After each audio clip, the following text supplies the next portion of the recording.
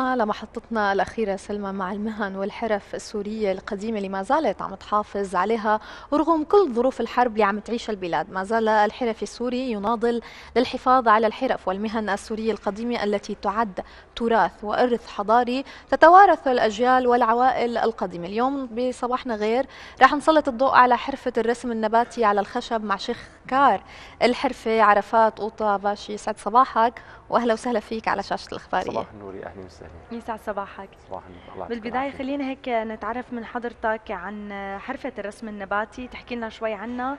آه، قديش إمتى بلشت وقد إيه عمرها؟ آه، هلا مثل ما بتعرفي حرفة الرسم النباتي على الخشب هي من الحرف الدمشقية آه، بامتياز يعني.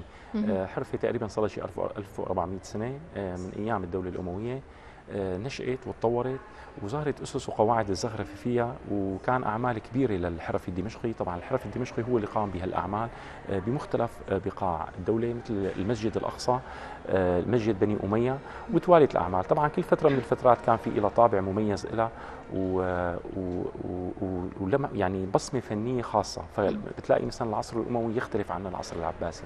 يختلف حتى عن الدولة الفاطمية يختلف عن العصر الأندلسي. كل دول كل فترة تطورت الزخارف وأصبحت لها ميزة ومباشرة من خلال آه، نظرة واحدة بإمكانك تعرفي إنه هي اندلسي أو عباسي أو فاطمي أو حتى حديث خلينا نقول بالأعمال الحديثة. آه، طبعا البيوت الدمشقية القديمة أي بيت دمشقي قديم آه، ما بيخلي من ما بيخلى من هالحرفة. بتلاقي الأسقف مزينة ومزركشة إضافة للجدران بتكملها الحرف الثانية لتعطي جمالية القاعة خلينا نقول القاعة الشرقية. طبعا كمان القديم له ميزة. آه، له جمالية. حتى وصلت الحرفة سميت بالدهان الدمشقي. آه، سبب تسميتها حتى إنه بالدهان الدمشقي إنه صارت شيء أساسي بالبيت الدمشقي القديم. يعني شلون الدهان هلأ بالبيت؟ ما في بيت إلا ما بتلاقي الدهان هو الأساسي. صارت هي هي الحرفة هي جزء أساسي من آه، من موروثنا الثقافي. طبعا هي كمان من الحرف المسجلة بتراثنا غير المادي لدى اليونسكو.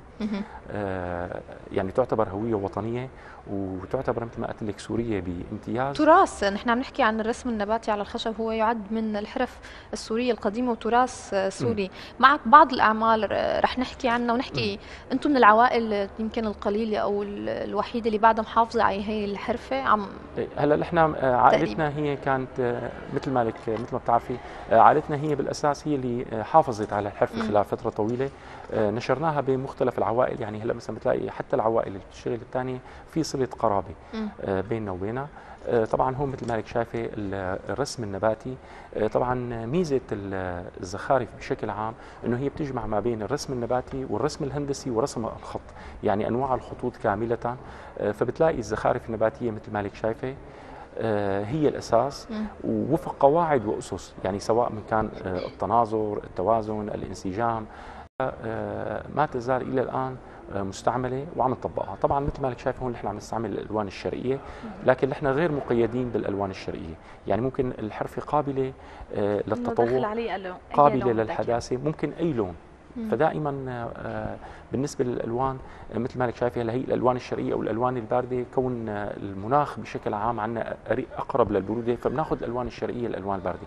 لكن ممكن حسب وضع المكان تختلف الألوان. يعني لما بنقوم بتصميم أي قطعة بنغير الألوان بناء على المكان اللي هي رح توضع فيه. هي القطعة فينا نقول بيقدروا يحطوها على الحيط ممكن تستخدم مثل فترينه صغيره ممكن هلا هي تسمى كازية. بتعرفي مثل كان أيام زمان يحطوا الكاز هو الأساس للإنارة.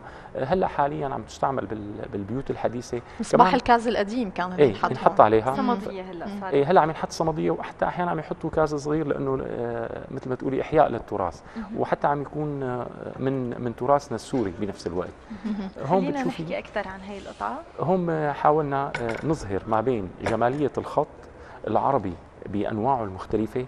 لأنه مثل ما بتعرفي الخط العربي له جمالية خاصة وسحر ورونق خاص اللي تميزت فيه كمان دمشق اللي هي كانت المدرسة الشامية هي أساس كل أنواع الخطوط اللي اللي ظهرت فيما بعد. يعني أي خط ظهر فيما بعد أساسه هو المدرسة الشامية اللي انطلقت منها أنواع الخطوط كاملة.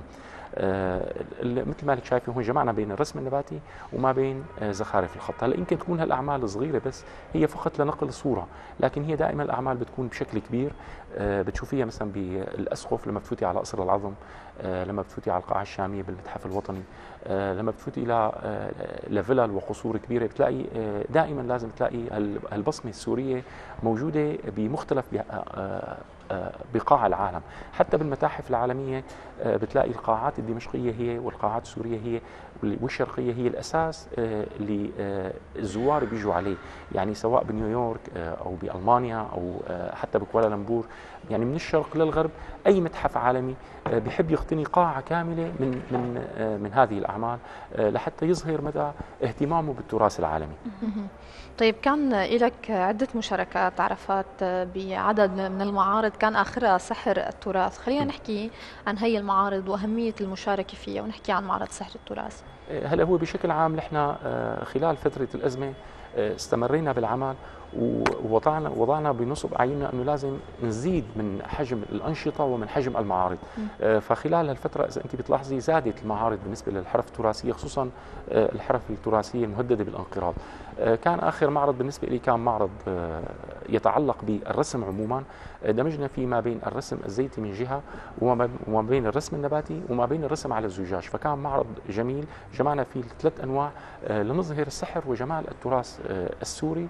آه، وجهنا من خلال هذا المعرض رسالة لكل العالم ليعرفوا آه، مدى قدرة الحرفي السوري وهو عبارة عن فنان أكثر ما يكون حرفي.